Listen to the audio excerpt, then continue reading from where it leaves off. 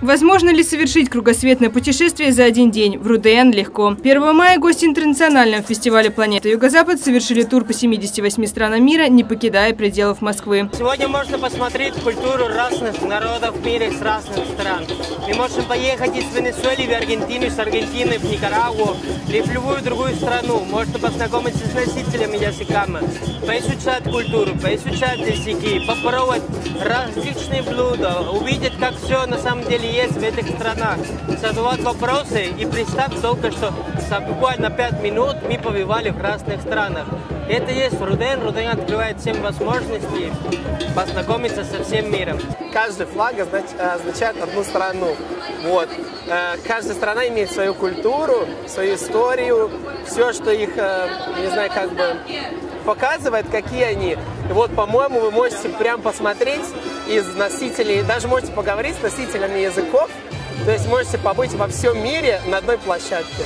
Ежегодно на празднике землячества студентов Руден удивляют гостей национальными традициями и культурами своих стран. В этот раз дебютом фестиваля стали выставки землячества из Республики Корея, Республики Союза Мьянмы, Эль-Сальвадора и Северной Македонии. Я бы честно сказать, что сегодня у нас все в одном, то есть весь мир на одной площадке, потому что здесь на этой площадке находятся все страны мира. И я согласен с тем, кто говорит, что вот на планете Юго-Западная вы увидите весь мир.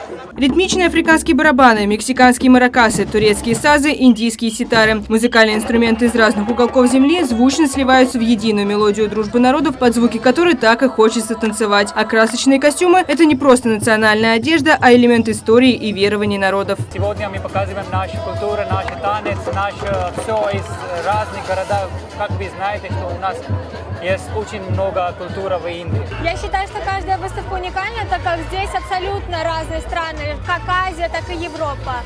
Вот, но я представитель корейского землячества, и у нас вы можете померить национальные костюмы, попробовать какую-то, хоть и немного, национальную еду, пообщаться с носителями, возможно, выучить какие-то слова, узнать что-то новое, забрать какие-то призы.